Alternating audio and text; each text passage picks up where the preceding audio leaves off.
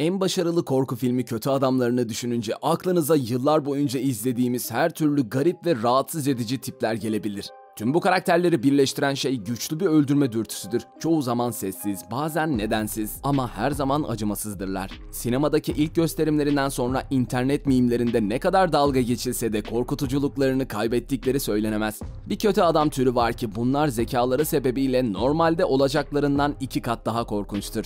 Michael Myers ya da Jason Voorhees gibi hastalıklı süper insanlar ya da laf anlatamayacağınız doğaüstü düşmanlar korku filmlerinin vazgeçilmezi olabilir. Ama az sonra bahsedeceğimiz karakterler de onlarla aynı derecede. Hatta belki de daha tehlikelidir. İşte korku filmlerinin en zeki 10 kötü adamı.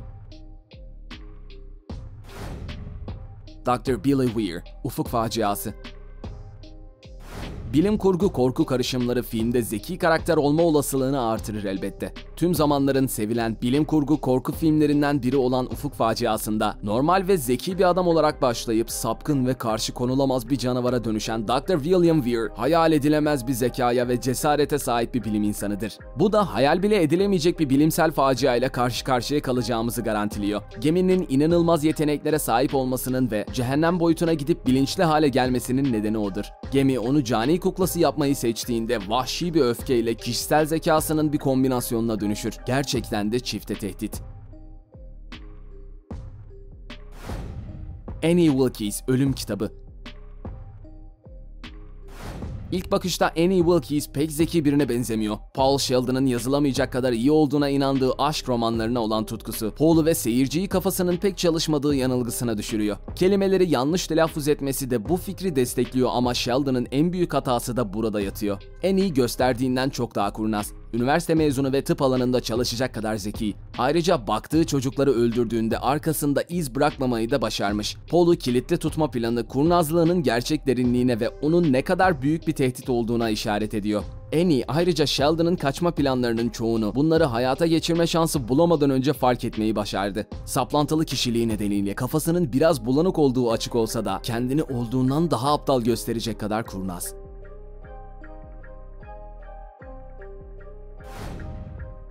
Jack Torrance, Cinnet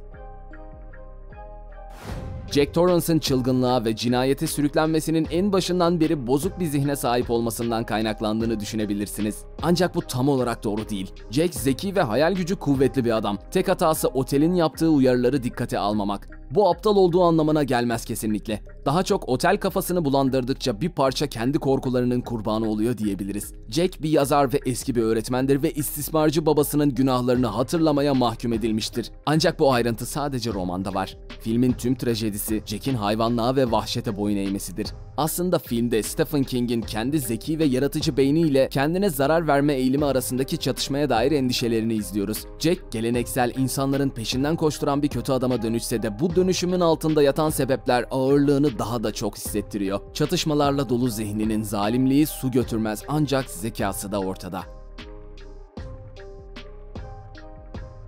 Seth Brundle, Snake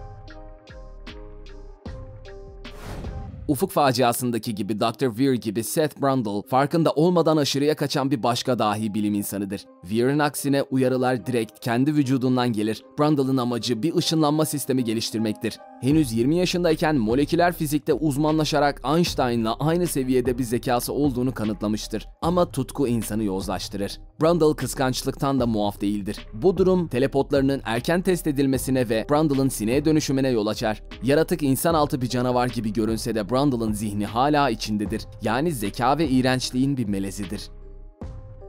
Pennywise, It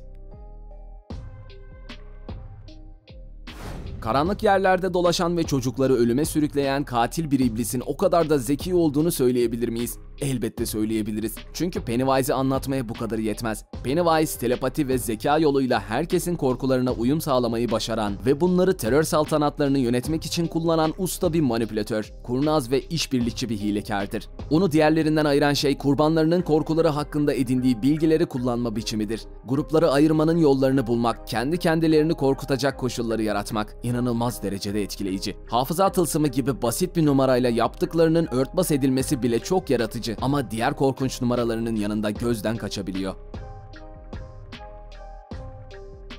David Aid, Yaratık, Antlaşma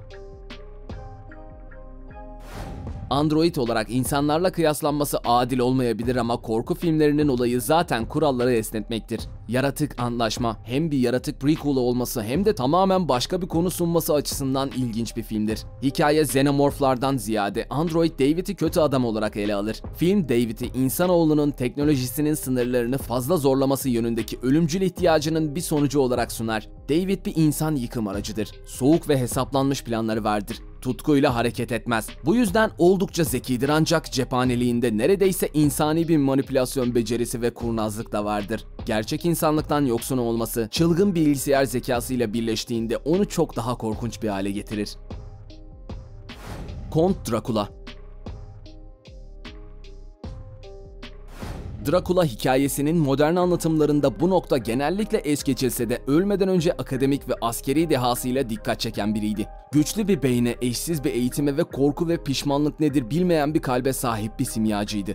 Yaşadığı dönemde denemediği bilgi dalı kalmamıştı. Kurnaz, zeki ve kendini kara sanatlara adamış biriydi. Vampir olduğunda gözlerinin ardında görünen kıvılcım da buradan gelir. Elbette doğaüstü olduğu için baştan çıkarıcıdır. Ancak zekası ve tatlı dili de başarısında önemli bir rol oynar. Ayrıca yüzyıllar boyunca yaşadığı için son derece bilgilidir ve ölümü ertelemesinin sadece şeytanla anlaşmasından değil, kısmen zekasından kaynaklandığı kabul edilir. Nasıl ölünmeyeceğini bilecek kadar zeki yani. Dracula sadece bir canavar değildir. Rafine bir toplumda var olabilir, çağların kültürüyle yoğrulur ve tutku nöbetlerine rağmen etrafına inanılmaz derecede iyi uyum sağlar.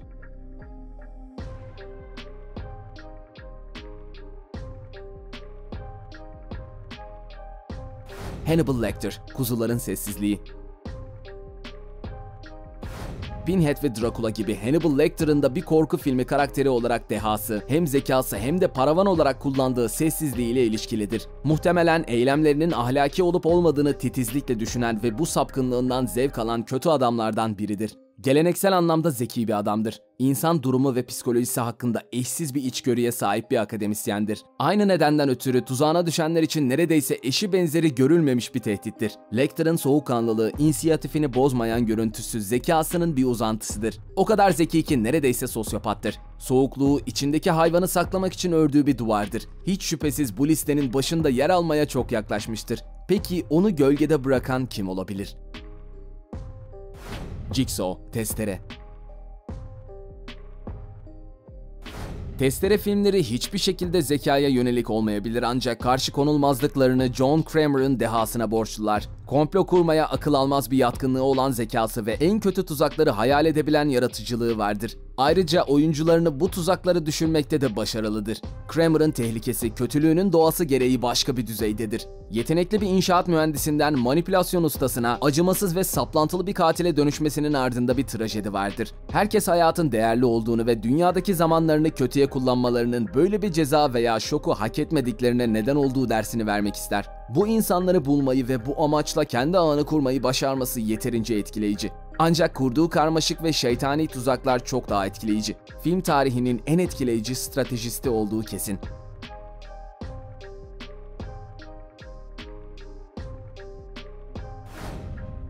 Listemiz bu kadar. Aklınıza başka birileri geliyor mu? Listeye başka kimlerin girebileceğini aşağıdaki yorum bölümünde bizimle paylaşın.